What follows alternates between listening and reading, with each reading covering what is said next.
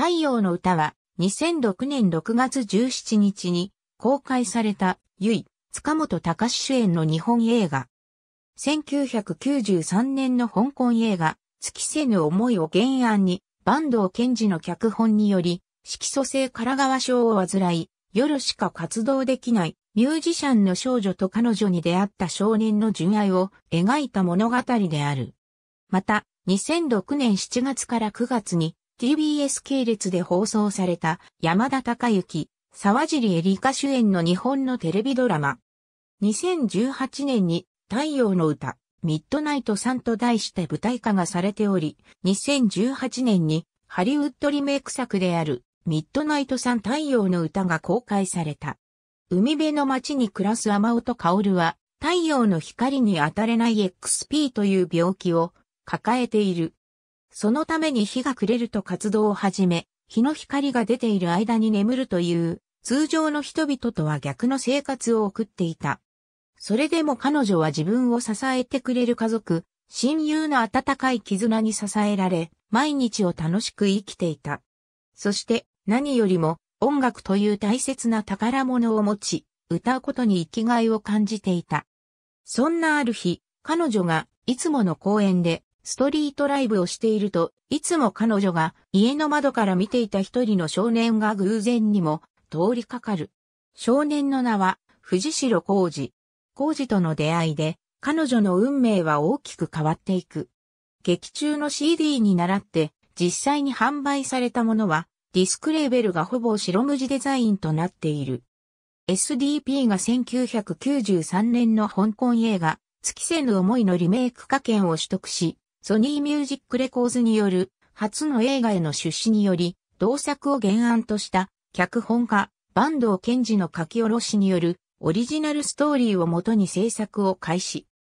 当初は1993年の香港映画、尽きせぬ想いのリメイクとして企画されていたが、古い映画でありそのままのリメイクでは、今の時代に合わないとの判断から、リメイク作品ではない歌を前面に出したオリジナルストーリーが採用された。主人公の設定がミュージシャンという特殊性から配役の選考に難航したが、ブレイクの兆しを見せていたユイが主役に抜擢され映画化の運びとなった。風切りに先立って全国各地で開催された試写会では試写後にユイによるライブパフォーマンスが披露された。興行収入10.5億円を突破し、中規模公開作品としては異例のヒットとなった。シンガーソングライターのユイが女優デビューとともに主題歌を担当。第30回日本アカデミー賞新人俳優賞を受賞した。ユイがユイホーウ、音香るとして歌った主題歌グッバイデイズは20万枚を売り上げた。着歌ランキングでは数週間にわたって第1位を獲得した。この物語の設定の核をなすと言ってもいい。主人公の犯されている色素性唐川症について、作中では夜しか活動できない病気であり、日の光に当たれない病という趣旨の描写だけが強調されていると言える。しかしこの病は分類されている一部の群を除き、上記の描写の元となる皮膚疾患に加え、若年発症であれば、聴力障害や知能障害といった日常生活すら困難になる神経障害などが確認されている。また、青年近くなると接触障害を起こす例もあり、気管切開や経管栄養補充の必要なほど深刻な状態にもなり得る。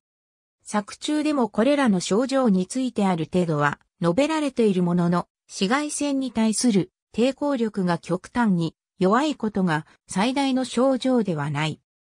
このような表現について色素性唐川症患者の家族によるが、全国色素性唐川症連絡会は、映画、ドラマ、良好色サイト内に、主人公の設定に実際と異なる表現もあるが、映画を機会に、XP に関心を持ってもらえることを強く願う、という旨のコメントを発表している。またドラマでは、次回予告前に口述するような注意書きが表示されていた。なお、この病は小児慢性特定疾患治療研究事業の対象疾患に指定されており、2007年3月12日には難治性疾患克服研究事業の対象疾患に指定された。だが、2008年2月の時点では、特定疾患治療研究事業の対象疾患には指定されておらず、医療費公費負担助成を受けることはできない。難治性疾患克服研究事業への指定には、事業を所管する厚生労働省への約60万人分の署名提出も少なからず影響を与えており、一部ではこの物語が署名を促進させたとも言われている。TBS 系列の金曜ドラマアークで2006年7月14日から9月15日まで放送された日本のテレビドラマ。主演は山田孝之。世界の中心で愛を叫ぶと今愛に行きますに続く恋愛ドラマである。TBS スターダストプロモーション純愛三部作完結編と銘打って制作された。世界の中心で愛を叫ぶは映画の公開とドラマ放送が重なることがあったが、映画公開前にドラマ化が決定するのは異例だという。藤代浩二は映画では高校生の設定だが、ドラマでは19歳無職の設定になっている。原作本とは違うオリジナルストーリーが多い。天音薫役は沢尻エリカ、薫の恋人、藤代浩二役は山田孝之が演じる。沢尻が、カオルアマネとしてリリースしたシングル、太陽の歌は2週にわたってオリコン1位を獲得する大ヒットとなった。詳しくは、太陽の歌を参照のこと。予告の直前に黒背景に白文字で、このドラマはフィクションです。天音薫は XP 患者という設定ですが、XP の実際の症例と異なる点がございます。という注意書きが放送されている。難病 XP を患う天音薫は、親友の松前美咲やレストランを経営する両親と湘南の町に暮らす。薫は、藤代浩二が捨てたギターを拾ったことからギターを始め、有名歌手、立花の浅見に憧れ歌手を目指していた。一方浩二は人生の目的も見つけられず漠然と日々を過ごしていた。美咲が撮影したビデオを見て、工事のことを再び見た薫は、ストリートライブをしている最中に彼と出会うが、冷たくあしらわれる。その後再会する二人だが人生に対して投げやりになる、工事に薫は、呆れ、言い合いになってしまう。さらに工事は、浅見のコピーばかりする薫に嫌悪感を抱いていたが、薫の自作曲、Stay with me を聞きその考えを改める。その後の一騒動で一気に近づいていくカオルと、工事だったが、カオルの病気は少しずつ進行していた。主要人物音楽関係者ムーンチャイルド、カオルの関係者民宿、三浦、太陽の歌、ミッドナイトさんと題して、2018年9月から10月に上演がされた。太陽の歌は2010年5月7日から5月29日まで大韓民国で公演した作品。ベトナム国営テレビ局 VTV 制作により2015年11月25日からに放送。放送枠は VTV3 で毎週水曜日、木曜日の21時30分22時30分に放送される。日本版ドラマの9年後のベトナムを舞台として歌手を志す色素性唐川省のベトナム人少女、本を主人公に描かれる。また松下直が日本版ドラマと同じ立花の浅見役として物語のキーパーソンとして出演する。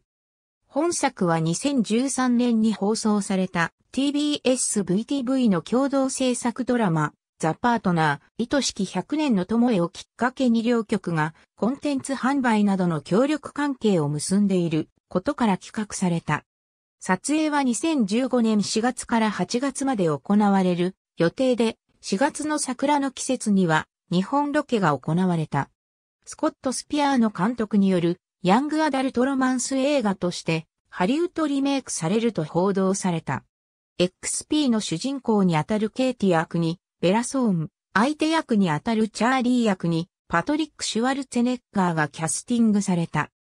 2006年興行収入10億円以上番組、日本映画制作者連盟 ABC、太陽の歌ヒットストーリー。オリコンニュース、https コロンスラッシュスラッシュ www.oricon.co.jp スラッシュニューススラッシュ37948スラッシュフルスラッシュ2018年7月8日閲覧。AB、舞台、太陽の歌、ミッドナイトさん開幕。どうしようもできない恋心を皆さんにお伝えできればと思います。辰巳雄大。シアターテイメントニュース、https コロンスラッシュスラッシュ theatertainment.jp スラッシュ japanese ダッシュ play スラッシュ13212スラッシュ2020年10月4日閲覧。